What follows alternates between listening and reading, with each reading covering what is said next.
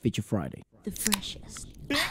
I've got a really fun one. Um, Great. so do you know the little kid, the little geezer? He was uh, singing. Fabio. Nosi Balasi. yeah, Fabio. That song is originally sung by Sampaguita, who she Ah. is considered to be the fi- the queen of Filipino rock. Fabulous. So I thought we would check this out. We know we know nothing about her. So okay, I let's love discover. new names, bro. Yep.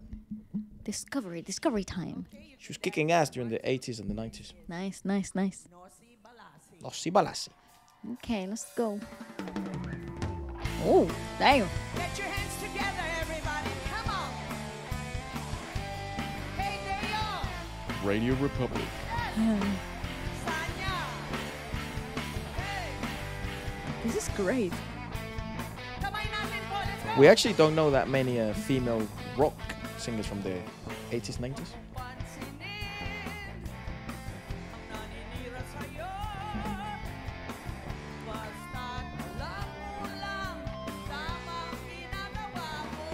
It's a fabulous song.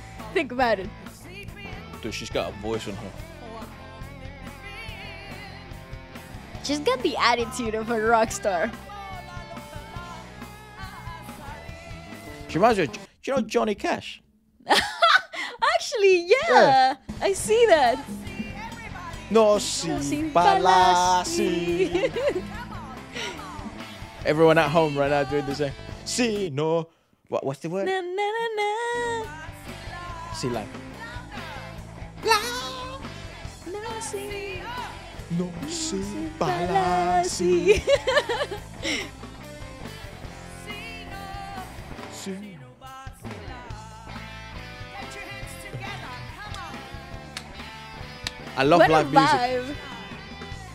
Okay, just a moment. Think about it. I love live it. music so bloody much. This is where I start to feel freaking nostalgic with Filipino music, which makes absolutely no freaking sense to me in my brain. There's no correlation whatsoever. I've never heard this music before. A lot of people ask why do we like this stuff? Um, because it's obviously good new people coming to the channel and stuff. I think if you've been in the channel, you know. But yeah, do explain that because it's weird to explain. I guess. Okay, but this just brings me back to the years where my dad used to have a rock band, and his original track sounded very much like this. Like it, they they were a rock progressive uh, in in the genre, but the chord progressions and the arrangements itself, and like even the way of performing, it's very similar to what my dad and his band would would uh, do. So to to me, I think to us, it's very because we grew up with them touring and we touring with them and eventually moving to do our own things later on in life. But uh, it's very nostalgic. It's it, it just hits a very nostalgic spot because we grew up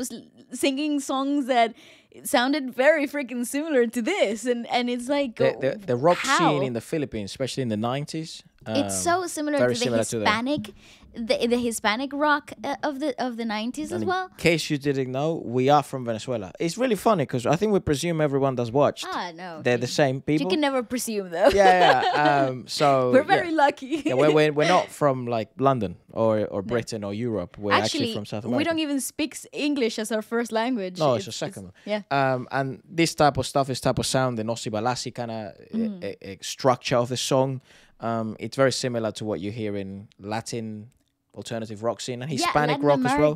Latin American rock. So if you listen to uh, uh, Soda Stereo Yep. has a similar sound They're to from this. Argentina, From Arge- uh, but again, the Latin American scene in the '90s had a very similar sound approach to rock. I think that's why this sparks this uh, nostalgia, and uh, I feel like I'm in the car with father, just reviewing the mixtapes. That you Yeah, know what I it mean? does. It's- It does feel like it. I actually kind of feel like I'm watching the rehearsals. You Yep. know, it's so wild.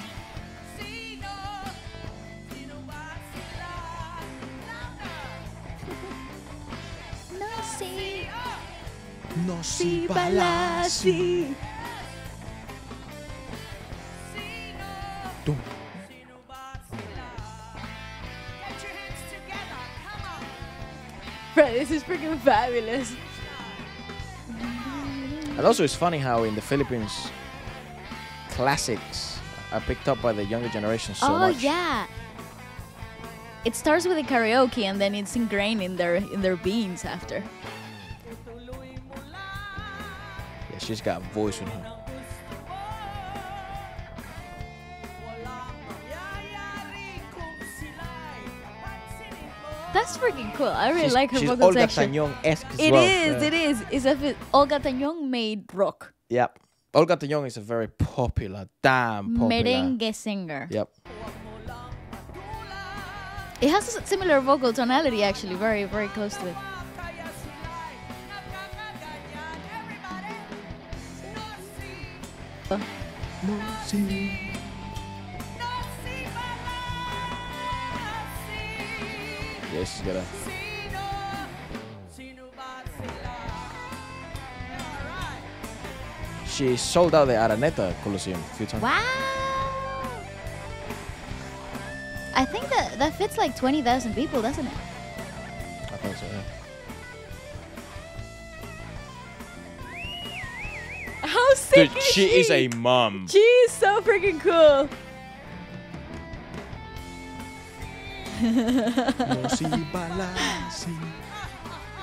Jesus Christ.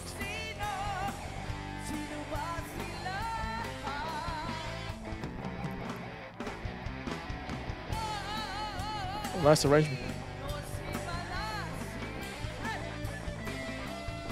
Sino? Sino ba sila? Because I think the only other female singers we know from, well, they're not, are they from the 90s? I guess. But like singing rock is maybe ages. Yeah, that's that's what I, I immediately related it to. Um, yeah. Who else do we know female wise? I, I think I that's don't it. think I think that's it. Yeah. Yeah, that's quite. Crazy. Mm. Now we know Sampaguita. Sino ba sila? Sino ba sila?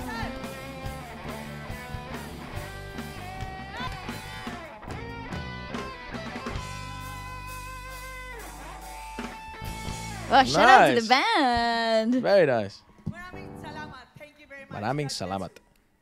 Hanggang sa muling pagkikita. Keep rocking. Sampa. What the fuck did she say her name? Hanggang sa muling pagkikita. Keep rocking. Sam- bless. Nope. hmm Well, that's, That's one. geo- That's one to remember. And this is Keep this isn't rocking. in the 80s. This this footage of the 90s. This is like 2000s. You know. Yeah, I, I Um, figure as much. But she's been doing this for a while. Just Uh, think about it. This was published seven years ago. This was in 2019. Yeah, 2019. It wow. seems here. What do you mean 2019 was like seven years ago? No, it wasn't seven years yeah. ago. It, they, they said 19 year old song, Ah, okay, okay. apparently. So it came out Right. in 2000s. I don't know. Let us know in the comments. These f- comment sections sometimes are really confusing. Yeah, you. and then you I end up really- saying wrong stuff. so from now on, that's why I'm saying source, trust me, bro. Trust me, it's the internet. But Reddit.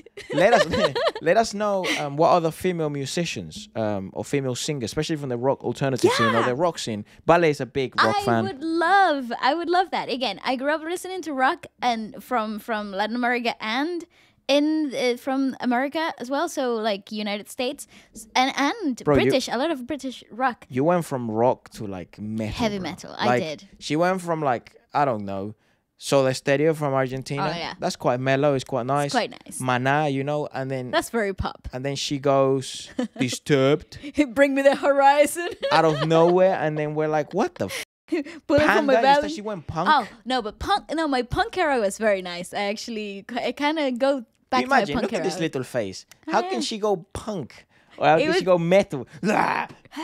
she it was, it was a good, it was a good era.